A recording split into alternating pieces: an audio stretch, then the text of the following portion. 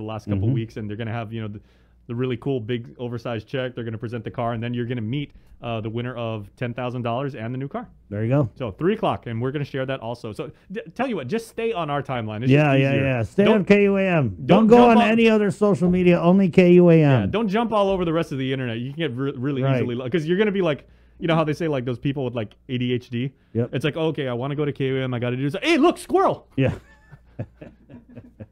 yeah, just go to KUAM. Leave it leave it to us. We're the pros. We do the news. We, Kanye's we gonna do something. He's gonna distract you, and then you know. Yeah. All right, it's 8:30. Let's uh, go in with Superintendent Jon Fernandez, the Guam Department of Education. Good morning, John. Thanks for joining us. Hey, good morning, and uh, good to be here. So we got it. We were asking, did you enter the vaccine win, or are you all right? No, I, I, I didn't. I, I, um, I encourage everybody else to do it. I just didn't get around to doing it, but um, I do hope that everybody will take advantage of the incentive uh, to get complete vaccinations. We're doing. I think we're doing a pretty good job Yeah. compared to what we're hearing across the country and in other states. Um, in fact, you know, it was, I guess it was me, it might have been on your show. We were listening to the news about the states that are seeing the hospitalizations rise on most of them being unvaccinated. So whether it's uh, positive incentives or just, uh, you know, the reality that we're, you know, the, that we're seeing the risks um, that are still out there from the variants, we still want to encourage, you know, everybody to take advantage of the opportunity. It's a, it's a personal decision, but uh, I know many people have been waiting to see how it how it turns out, and hopefully um, others have you know gained more confidence in taking advantage of of that. Um, but no, I don't don't need a new car, and uh, you know, I, I don't know. You I look good that- in a Kia Soul. I do hope that uh, yeah, there are there are many families out there who could use that money too, and hopefully they, they'll be able to to to get that get their lucky uh, number pulled uh, at today's vaccine win. So. Um, but again, I heard that in the some states there were uh, you know, the the pot's up to a million dollars. I so know. God. wow. I feel like we're giving away chopped liver because I we just played the news and it was like the, I caught a little sniblet. Which governor is I? I- was no, I think that that was uh, that was in the Carolinas. They're giving away like a yeah, he was like, we're giving away another million or But- something. but Like, you know- another million? But you know, also what the Jon was saying, it, it was in that that national story from CBS is they were saying that it looks like with the vaccination numbers and like and the momentum and everything. Remember, President Biden said he's looking at setting July fourth yeah, as their deadline. It looks like they're they're probably going to miss that. Whereas ours is, you know, obviously, you know, 17 days later. So what would be like our Liberation Day. on Yeah, the 21st. July 21st, And it looks like we are going to hit that. yeah. And guys, uh, uh, former Governor Carl GVB and Jerry, deputy of GVB, coming up because I know that Carl had set uh, or wanted uh, um, uh, July first uh, target um, for reopening in the Airbnb and all that stuff. So we're going to talk with them uh, after uh, Jon. But Jon, I kind of wanted to start as we had a question from the news team about this uh, nurses uh, pay increase. It kind of happened pretty quickly. It was like I think there was a bill, and then the governor came out and said, "Oh no, no, I got this for my nurse, my fellow nurses." Um, and so, so, so- yeah, yeah, actually, there, there- yeah, actually, there are several things I want to cover today, but uh, Right. definitely uh, we do appreciate the the fact that there was action taken on on nurses' pay. Yeah. Uh, we've been talking to the nurses. Obviously, they've been through uh, quite a year and a half of working together with partners of public health and and um, the hospital. So we know there was you know was under consideration, and um, we were glad to see the um, the governor um, take note of that and and to uh, to um, you know, review recommendations and and, and develop a, proposal that uh, can be implemented going forward. So um, we do uh, we have we have about 45 nurses, uh, including their you know including the nursing administrator here at DOE, and um, you know that for DOE it's a 15 percent um, uh, adjustment to their base, and then a 10 percent differential pay based on their location at DOE. So um, we're you know the employees are are happy for that. Our nurses are happy for that. Obviously, you know when we saw the differential, we wanted to make sure we understood whether or not that would pose an issue of nurses trying to leave DOE uh, to go to the hospital or Right. public health, because we know all, all the agencies need help. But you know those those types of things matter uh, in terms of compensation when you when you're competing for professionals, um, you know who have to be trained out there and on the front lines. Uh, but again, overall, we're thankful to, to see that happen so quickly. Uh, sometimes sometimes these issues get talked about for a long time Yeah. and nothing happens. Uh, it was good to see that. So are are, Um, are the DOE nurses going to get this uh, increase? And if uh, so, where are you guys going to get the money from? Yeah. So we're, you know, we, we're in communication with DOA and BBMR and the governor's office with regard to the remaining costs for this current fiscal year, which is, um, we believe it's, it's less than a hundred thousand or around a hundred thousand, um, to get from the August to the end of the, the fiscal year. And then we, we still have our budget hearing and, you know, our FY twenty-two budget to, to get done. So, um, this, yesterday, uh, let me go ahead and, and, and lead into that story. Um, we, um, the, the board took an action yesterday to amend our FY twenty-two budget request. Uh, part of the reason we did that was because, uh, as you recall, back in January, we submitted, uh, one of those large DOE requests that we get every year because of the fourteen point, um, mandate that we have to meet. Uh, it was a three hundred and seventy-three million dollar, um, budget request. Um, but of course, uh, since then, we've also had the, the influx of federal resources. And some of those resources did overlap with things that we requested for in our budget. So we committed to the governor and to the legislature that we would go back and as we uh, finalized our budget plans for the federal funds, we would uh, remove those items that were no longer needed in our FY22 request that was sent to the legislature. So uh, we took the board took action yesterday. Uh, we actually were able to uh, to fund about 82.6 million dollars uh, that we had asked for in our in our budget. Um, the predominant, um, you know, the the I guess the most significant amount was for um, capital improvement projects. Many of those that go unfunded um, every year. So the, the funds coming from the American Rescue Plan will finally give us an opportunity to go back and repair schools and address, you know, renovate the schools that need uh, that need to be fixed, and and, and allow us to uh, make sure that the facilities are safe for return uh, and for staying back in face-to-face instruction over the coming years. Another big chunk of the, that those funds uh, were also for um, instructional materials and tech, you know the the textbooks and materials that were needed for the classroom. So we were able to fund those those types of items, and then a lot of supplies and equipment for the schools. So we were able to remove 82.6 million uh, because of those uh, you know the federal funds that have come in, and then. Um, we had to add back about $878,000 for the nurses' uh, pay increase. So it netted out to about $81 million in reductions. So our, our new budget request is, is, is not quite down to, you know, it's still about 291 million, but uh, it is uh, an adjusted request just to be clear to the legislature that we're not coming in there and asking for things that we can't fund otherwise. We're going to fund what we can. Everything else, we're going to see what, what's available locally to support the, the agency's needs. So, um, so again, the nurses' cost on an annual basis is almost nine hundred thousand dollars, and for that, we're wanting to make sure that gets reflected in the budget that gets approved.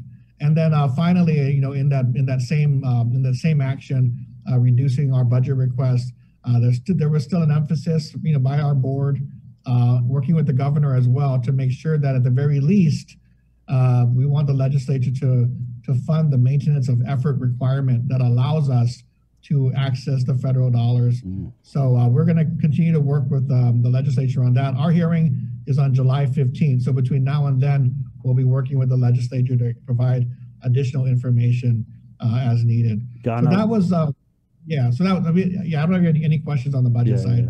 yeah. Uh, no, I, I just because I know you. There's a whole bunch of stuff you wanted to uh, share with us, but I, I just wanted to, before we get into that, uh, the congressman's uh, speech. We had a panel yesterday on the show. A couple of our uh, panelists uh, were saying that the speech was kind of short on education. Did you take away any education issues from the speech? Well, the I think the thing that we've been talking about with the congressman and with our, you know, with our officials really has to do with ensuring the proper investment of these federal dollars. So I've shared, uh, you know, our general plans and as we've gone along with our elected officials and with the congressman. And um, I think again, the key thing really is, and I think he understands this, the maintenance of effort, the the you know the the requirement needed on the local side to be able to have the federal dollars to support you know schools those pieces have to come together otherwise if we fail to meet the maintenance of effort requirement we're going to be you know we're going to probably be in a, in a long you know, discussion with the U.S. Department of Education regarding uh, being able to access the funds that are probably, you know, will probably be um, uh, switched off until we resolve that issue. So we don't want to see that happen. We like to avoid that. So it's our job to continue to educate uh, our policymakers and make sure they have that information prior to making any decisions. So, so, um, so, so we'll work in July 15th again as our, as our yeah. hearing and we'll be there for the legislature nice. on that.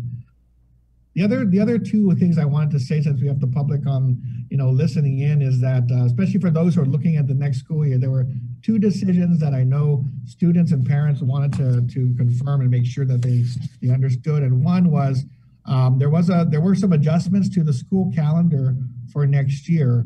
Uh, previously, um, the school year, the calendar started on August 6th, where teachers reported for a work day, and then they came in for one day of professional development, and then we started classes in the following week.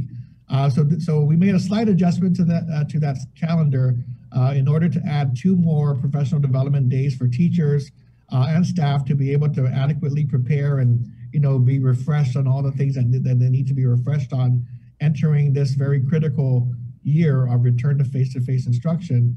And now the first day of classes for students to report is uh, August 12th. So August 12th, everybody, especially you kids who might be getting this information, that's the start of the school year. And that's when we uh, expect to, to have you back in school, you know, uh, back on school grounds. Uh, and we look forward to seeing you back then. So that's one adjustment that was made that we're gonna we're gonna put a presser out just to make sure that word gets around and people are clear about when classes start. The second uh, decision, um, I don't know that the students will be as happy as as uh, as others, but had to do with the school uniform. So uh, if you remember last year uh, when the pandemic hit, um, we with the following the lead of uh, Chairwoman Maria Gutierrez and um, the input that we received from the community, as well as the fact that we were just entering this pandemic and we were shut down across the board, you know, at the time, uh, the board went ahead and waived the uh, uniform policy for the last school year. And so for those uh, students who were coming to school, you were not required to uh, wear your school uniform. Um, this year, there had been uh, further debate and discussion amongst our board members. So we did issue out a survey uh, to our stakeholders um, I think the, basically the survey split in the following ways. We had about just over 60% of the adults uh, wanted to see the, the uh, uniforms uh, reinstated. And of course, the majority of your, your middle and high school students wanted to see it optional. Um, so, you know, we recognize uh, the financial challenges that uh, are still out there for many families. And we recognize, um, you know, um, the need for, for uh, schools to ensure that they can account for the students who are there and, and so forth. So we had a debate, I mean, a discussion about that and a work session on, on the survey. And then last night, um, the board unanimously uh, uh, voted in favor of reinstating the uniform uh, policy for the coming school year. So um, that decision is made. Uh, I'll just say unanimously, but Ms. Gutierrez unfortunately could not uh, be there. I know she wouldn't want me to, to indicate that she had uh, voted for it because she was a staunch supporter of waiving the policy for an additional year. But I know that the board members uh, who met last night and uh, heard, uh, you know, the, the recap of the survey, uh, as well as the vendors who were there, uh, really asking them to ensure that they took into account the needs of the families in issuing vouchers to the schools to be able to provide free uniforms to families in need. with that discussion in hand, the board voted unanimously to reinstate that policy. So school uniforms will be required, and uh, we'll see how that goes uh, this coming year as we return back to normal operations. So those are the key ones I wanted to um, you know um, to, to address.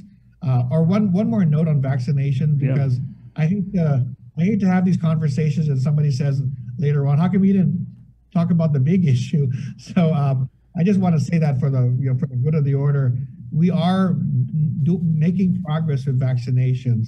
And like I said before in prior interviews, we're now just over 70% of our school employees who are fully vaccinated.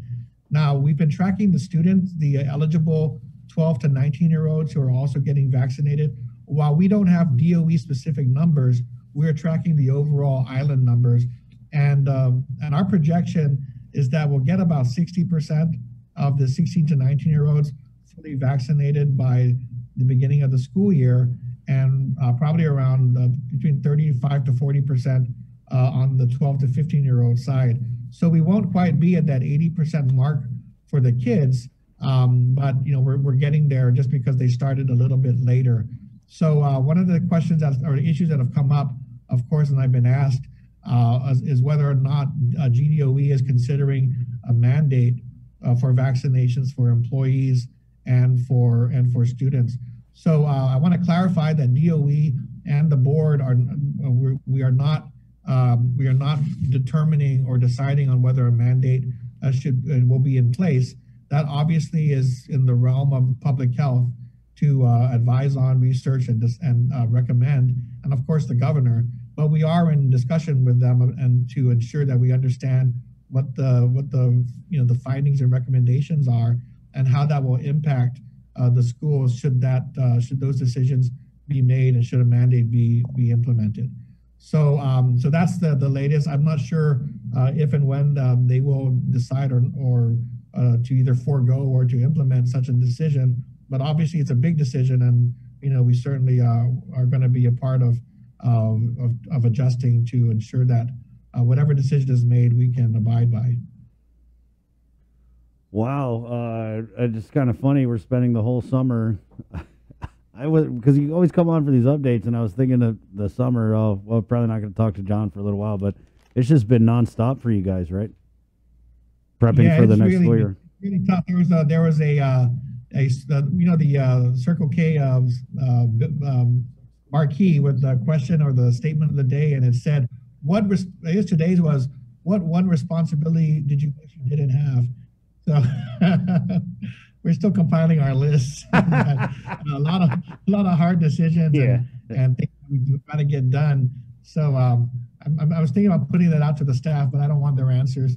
we all we have a lot of work to do. Right. Um, but that was very timely. There's a lot of things we're doing to just get make sure that the schools are prepared to open um, not just your regular, you know, summer preparation, but all the additional issues related to COVID-19. So, you know, HEPA filters and other, you know, the uh, plexiglass, other, other things that we've got on order, those also, have to be added to the list of things to get done before we, we open up school. So we're pushing ahead and meeting all the time and um, it's nonstop. So absolutely.